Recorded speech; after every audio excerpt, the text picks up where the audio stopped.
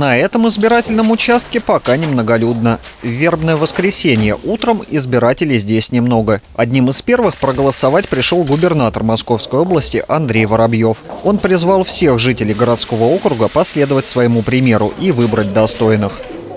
Стараемся делать так, чтобы все изменения, которые происходили а, в территории, а, опирались на мнение граждан. И для нас а, крайне важно активное участие всех жителей. Поэтому я очень рассчитываю, что сегодня придут на избирательные участки жители Одинцовского района и отдадут свои голоса.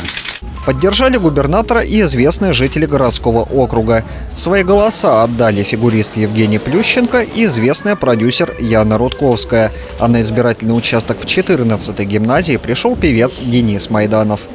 Важно голосовать в любое время, хоть это выборы президента, хоть э, выборы в округ. Конечно, э, мы все жители своего района, и я призываю каждого быть не безразличным, потому что голосовать была отличная традиция э, во времена молодости наших родителей. Мы с детства приучались ходить, голосовать и отдавать свой голос и быть не безразличным к тому, что происходит вокруг нас.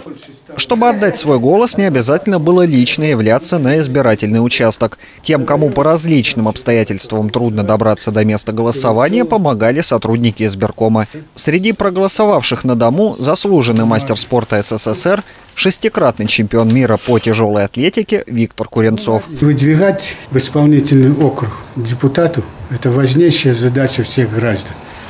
Во-первых, они должны знать, кого избирают, кто должен делать.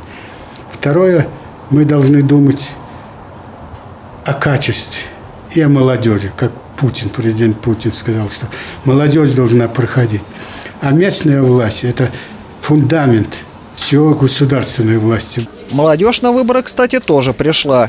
Виктория Бетковская голосует впервые. За проявление активной жизненной позиции девушке вручили полезный подарок от избиркома – флешку. Очень хорошая организация, что очень сильно радует.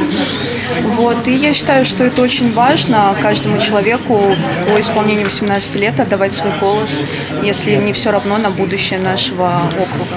К сожалению, традиционно уже явка избирателей до 35 лет невысока, отмечает председатель молодежного избиркома Дарья Косова. Таких избирателей в округе около 70 тысяч человек, но на участке приходит всего 10-15%. Когда там явка небольшая молодежи, э, мы э, смотрим, на что обратить внимание и э, в каких муниципальных образованиях усилить работу. Мы обязательно посмотрим, какая была явка в итоге молодежи в Одинцовском городском округе и тоже сделаем выводы и сообщим своей молодежной избирательной комиссии на территории.